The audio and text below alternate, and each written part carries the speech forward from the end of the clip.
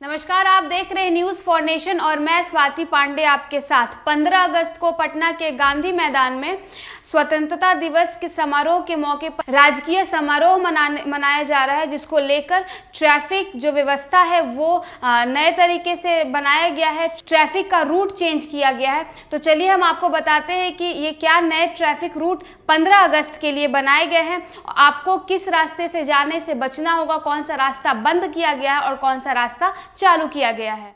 15 अगस्त को पटना के गांधी मैदान में होने वाले राजकीय समारोह के कारण सोमवार को शहर की ट्रैफ़िक व्यवस्था बदल रही है। सुबह सात बजे से लेकर राजकीय समारोह के खत्म होने तक फ्रेजर रोड से गांधी मैदान तक गाड़ियों का परिचालन नहीं होगा। इसके साथ ही कई दूसरे रूटों पर भी गाड़ियाँ नहीं चलेंगी। इसके लिए पटना ट्रैफ़िक पुलिस की तरफ़ से व्यवस्थाओं में किए गए बदलाव को लेकर शुक्रवार को डिटेल्स जारी किया गया है। उस दिन अपने घर से निकलने से पहले आप भी ट्रैफ़िक प्लान को देखकर निकले।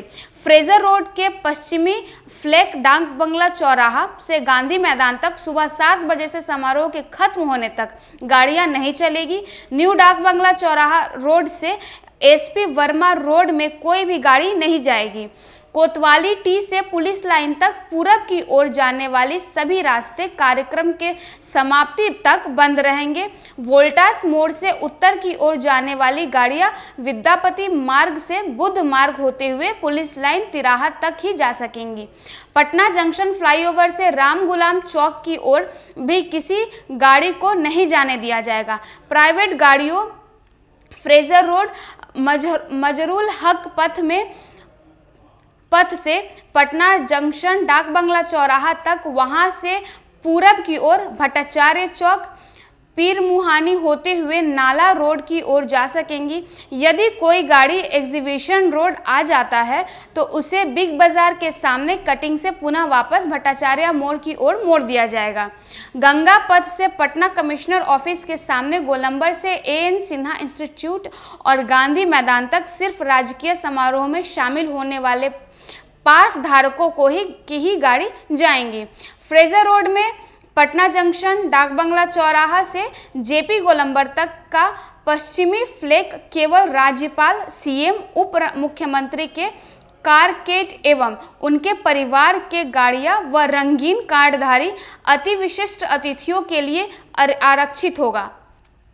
देश रत्न मार्ग से डाक बंगला चौराहा एवं फ्रेजर रोड में डाक बंगला चौराहा से जेपी गोलंबर एवं चिल्ड्रेन पार्क होते हुए कारगिल चौक मार्ग पर सुबह सात बजे से कार्यक्रम समाप्त होने तक किसी प्रकार के गाड़ियों की पार्किंग नहीं होगी। अब आपको बताते हैं कि 15 अगस्त की सुबह सात बजे से कार्यक्रम की समाप्ति तक कॉमर्शियल गाड़ियों के परिचालन के लिए इस प्रकार किस प्रकार का वैकल्पिक मार्ग का व्यवस्था किया गया है? चिड़ियाटांड पुल के पास दुर्गा मंदिर के ऊपर व नीचे से मालवाहक गाड़ियाँ उत्तर गोरिया टोली की ओर से ही जा पाएँगी। मीठापुर आरओबी गोलंबर से मालवाहक गाड़ियाँ उत्तर की ओर बुद्ध मार्ग की तरफ़ नहीं जा पाएँगी। आर ब्लॉक गोलंबर से कोई भी मालवाहक गाड़ी उत्तर की ओर यानी आयकर गोलंबर तक नहीं जा सकेगी। बेली रोड में डुमरा चौकी से भट्टाचार्य चौराहा तक मालवाहक गाड़ियों की एंट्री पर रोक रहेगी।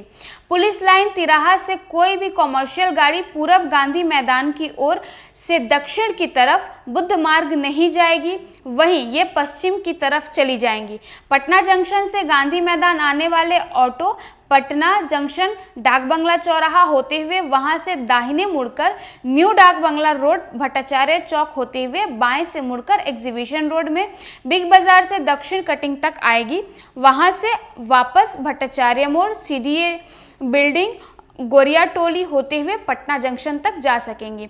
फिर आपको बताते हैं कि बांकीपुरा बस डिपो से चलने वाली बिहार राजपथ परिवहन निगम की बसों का परिचालन वीरचंद पटेल पथ स्थित सुल्तान पैलेस से आर ब्लॉक होर्डिंग पार्क होते हुए होगा।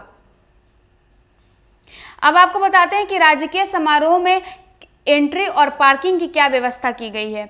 ई कार्ड धारक यानी वीवीआईपी और वीआईपी अतिथियों के गाड़ियों की एंट्री एग्जीबिशन रोड के सामने बने गांधी मैदान के गेट नंबर 10 से होगी। संबंधित गाड़ियों के ड्राइवर गेट नंबर 10 के बाएँ एवं दाहिने निर्धारित पार्किंग से अपनी गाड़ियों को पार्क कर सकेंगे।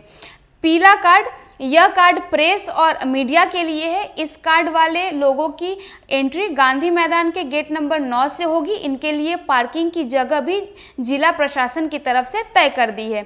बाइक के लिए गांधी मैदान के बाहर, सड़क के पूर्वी फ्लैक में उद्योग भवन के सामने सड़क के किनारे पार्किंग व्यवस्था की गई है। विशेष व्यवस्था क्या की गई है, यह हम आपको बताते हैं। सीबीआई, एसबीआई के सामने गांधी मैदान में बना गेट नंबर एक राज्यपाल, मुख्यमंत्री उप मुख्यमंत्री के साथ ही झांकी के लिए निर्धारित किया गया है। समारोह में भाग लेने वाले सेना, पुलिस, गृह रक्षा वाहिनी एवं एनएसएससी के जवानों के एंट्री एसकेएम हॉल के सामने बने गेट नंबर पाँच पे होगी। तो सुना आप लोगों ने, ये व्यवस्था की गई है पटना ट्रैफ़िक पुलिस के तरफ़ से। तो आप अगर बाहर निकलते हैं 15 अगस्त को तो आप अपने रूट एक बार देख लें कि आपको कहाँ से जाना है और कौन से रास्ता, कौन से मार्ग बंद किया गया है। इस वीडियो में बस इतना ही। और भी वीडियोस और अपडेट्स के लिए आप देखते रहे न्यूज़ फॉर नेशन।